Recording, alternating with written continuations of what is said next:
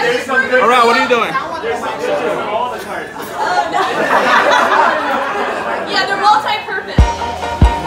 So what was inside the pinata? Cards. A black No candy though, right?